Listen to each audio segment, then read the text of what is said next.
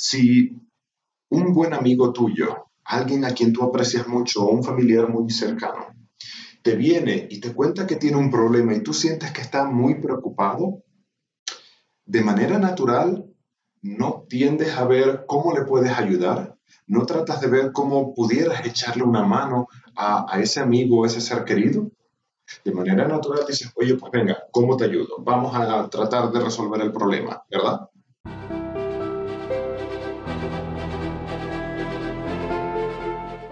Cuando tú en tu interior tienes un problema sin resolver, una depresión, una ruptura de corazón pasada, lo que quiera que sea, que no has resuelto, que no has integrado, cuando esa emoción se despierta, es como cuando en un lago tiras una piedra y ahora la piedra genera una onda expansiva. Esa onda expansiva va a llegar hasta la orilla del lago y va a tocar hasta la orilla del lago, las hierbas que estén ahí. Bueno, pues cuando tú te sientes mal, es una emoción tuya que se despierta y es como una piedra y a veces lo sentimos así de pesado. Y ahora esa emoción explota, irradia y en esa onda expansiva, impacta a tu mente, golpea a tu mente. Y esa emoción negativa que está ahí, esa emoción sin resolver, está, no es solamente una piedra que lanzaste, sino es como una piedra constante, una tras otra, una tras otra, generando esas ondas expansivas que impactan en tu mente. Cuando esas ondas emocionales llegan a tu mente, ¿qué es lo que dice tu mente? Hey, ¿sabes qué? tenemos un problema, ¿cómo te ayudo? ¿Cómo lo resuelvo?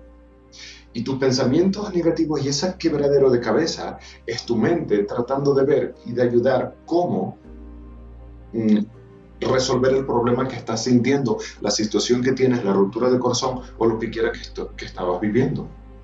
Eso sucede cuando tu mente no para, pero ahí todavía no son necesariamente pensamientos negativos, son más bien pensamientos obsesivos, es lo que te impide dormir, lo que te causa el insomnio lo que te impide meditar o concentrarte porque le estás dando 20.000 vueltas a la cabeza al mismo tiempo. Se debe a que esa emoción negativa está activa y tu mente está, ¿cómo lo soluciono? ¿Cómo lo soluciono? ¿Cómo lo soluciono? ¿Cómo lo soluciono?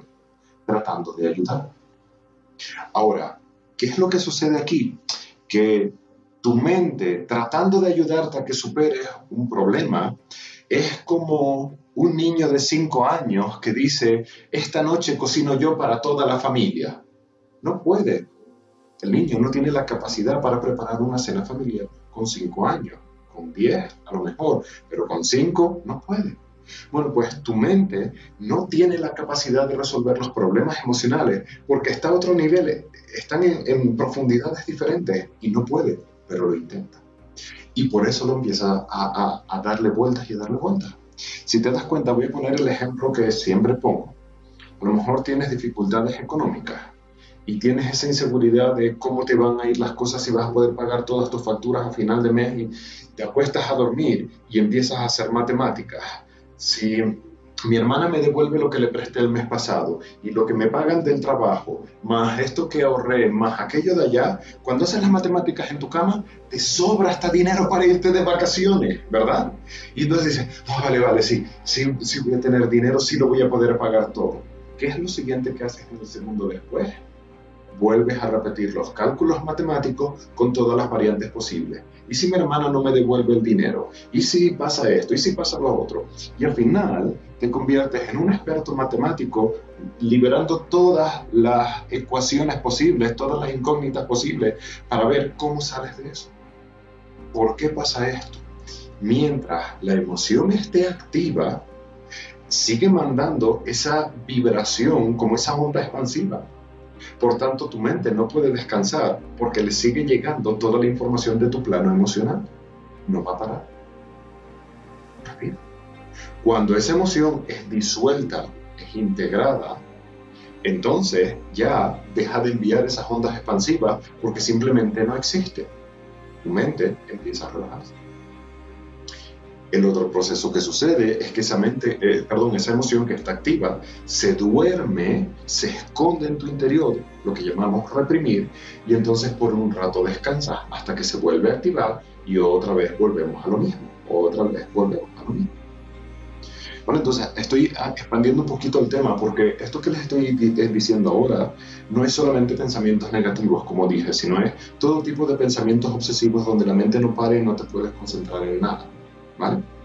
Ahora, cuando no es una emoción, sino que son muchas emociones negativas las que tenemos en nuestro interior, ahora no es solamente que las emociones lleguen a tu plano mental, sino que tu plano mental se empieza a contaminar, se empieza a teñir, porque eh, ya no es que le llega una ondita, sino lo voy a decir metafóricamente, le llegan tsunamis, tsunamis contaste y le llega un tsunami y otro y otro y otro, y ahora la mente solo se puede enfocar en el dolor, en lo negativo, en lo que te está pasando, en los problemas que, que tienes o que has tenido.